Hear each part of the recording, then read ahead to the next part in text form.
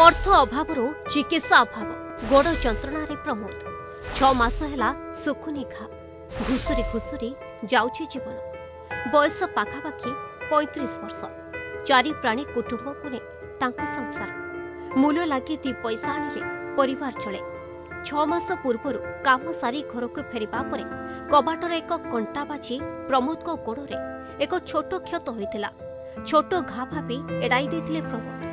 ଧୀରେ ଧୀରେ ଛୋଟ ଘା ଇନଫେକ୍ସନ ହୋଇ ବଡ଼ ଘାରେ ପରିଣତ ହେଲା ପ୍ରଥମେ ଭାପୁର ପ୍ରାଥମିକ ଚିକିତ୍ସା କେନ୍ଦ୍ର ପରେ ଢେଙ୍କାନାଳ ମୁଖ୍ୟ ଚିକିତ୍ସାଳୟ ଓ ତାପରେ କଟକ ବଡ଼ ମେଡିକାଲରେ ଭର୍ତ୍ତି ହେଲେ ପ୍ରମୋଦ ମାତ୍ର କୌଣସି ସୁଫଳ ମିଳିଲାନି। ଅଧିକ ଚିକିତ୍ସା ପାଇଁ ସରକାରଙ୍କୁ ଆକୁଳ ନିବେଦନ କରିଛନ୍ତି ପ୍ରମୋଦ ଓ ତାଙ୍କ ଧର୍ମପତ୍ନୀ। ମୂଲ କାମ କରୁ ଯାଇଥିଲି ଘରକୁ ଆସିଲି ଯେ ଭାଙ୍ଗି ଯାଇଥିଲା ଯେ ସେଥିରେ ପେଚକଟା ବାଡ଼ଉଥିଲି ଯେ ହାତରୁ ଖସିଗଲା ଠିକ୍ ଗଳିଗଲା। ଗଳିଗଲା ଯେ ମୁଁ ଆଉ ଟିଟି ଫିଟି କିଛି ଜାଣିଲି ମୁଁ କହିଲି ହଉ ଭଲ ହେଇଯିବ କହିକି।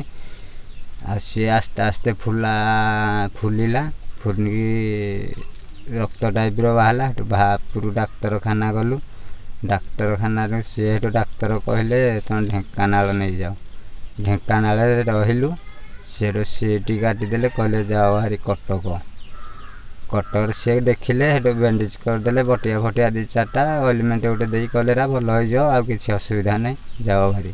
ସେଠୁ ଆସିଲୁ ପୁଣି ଗଲୁ ଅନୁଗୁଳ।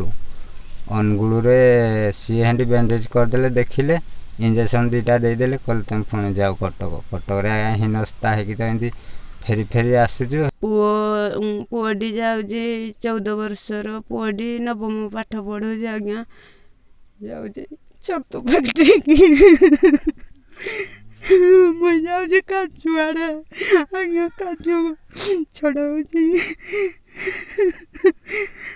ସରକାର ଆଜ୍ଞା ଯାହା ସାହାଯ୍ୟ କରିବେ କରିବେ ଆଉ ମୁଁ କ'ଣ କହିବି ଅର୍ଥ ଅଭାବରୁ ପ୍ରମୋଦ ଚିକିତ୍ସା ପାଇଁ କୁଆଡ଼େ ବି ଯାଇପାରୁନାହାନ୍ତି ସ୍ୱାମୀ କାମ କରି ପାରୁନଥିବାରୁ ସ୍ତ୍ରୀ କାଜୁ ଛଡ଼ାଇବା ପାଇଁ ଯାଉଛନ୍ତି କାଜୁ ଛଡ଼ାଇ ଯାହା ପଇସା ଆଣୁଛନ୍ତି ସେଥିରେ ଚଳୁଛି ପରିବାର କାଜୁ ଛଡ଼ାଇ ସରୋଜିନୀଙ୍କ ହାତ ବି କଷ ପଡ଼ିଗଲାଣି।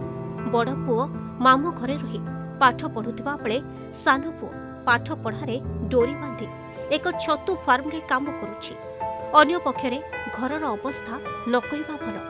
ଝାଟି ମାଟି ନେଶା କୁଡ଼ିଆରେ କଟୁଛି ଦିନ। ସରକାରଙ୍କ ସାହାଯ୍ୟ କହିଲେ ରାସନ କାର୍ଡରେ ମିଳୁଥିବା ଚାଉଳ। ଅନ୍ୟପକ୍ଷରେ ପ୍ରମୋଦଙ୍କୁ ସହଯୋଗ କରିବା ପାଇଁ ସରକାରଙ୍କୁ ଅନୁରୋଧ କରିଛନ୍ତି ପଡ଼ୋଶୀ ମେଡ଼ିସିନ ଫେଡ଼ିସିନ ସବୁ ଦେଉଛନ୍ତି ଆଉ ଲୋକ ଯାଉଛନ୍ତି ଖୁଡ଼ି କୁଟିଲା କାଜୁ କିଛି ଛଡ଼େଇକି ନହେଲେ ଘର ଚଳୁଛନ୍ତି ଆଉ କ'ଣ ଆଉ ପୁଅଟା ଯା- ଯାଇଛି ସିଆଡ଼େ ଏବେ ଦି ତିନି ଦିନ ହେଲା ଛତୁ ଫାର୍ମ ଯାଇଛି ଦି ତିନି ଦିନ ହେଲାନି ମ ଆଗରୁ ତ ଗାଁରେ ଥିଲା ତାଙ୍କୁ ଟିକେ ସରକାର ତରଫରୁ କ'ଣ ଦେଖାଦେଖି କରିକିନା ଟିକେ ଭଲ କରିବ ଆଉ କ'ଣ କିନ୍ତୁ ଚଳିବେ ହେଲେ ଭଲରେ ଟିକେ ଯଦି ପ୍ରମୋଦଙ୍କ ଉପରେ ପ୍ରଶାସନର ନଜର ପଡ଼ିପାରନ୍ତା ତାଙ୍କ ଚିକିତ୍ସା ନିମନ୍ତେ କିଛି ଆର୍ଥିକ ସହାୟତା ମିଳିପାରନ୍ତା। ତେବେ ପୂର୍ବ ଭଳି ପ୍ରମୋଦ କାମ ଧନ୍ଦା କରି ନିଜ ପରିବାର ପୋଷି ପାରନ୍ତେ। ଢେଙ୍କାନାଳରୁ ବିପ୍ଳବ ରାଉଳଙ୍କ ରିପୋର୍ଟ ଅର୍ଗସ୍ ନ୍ୟୁଜ୍।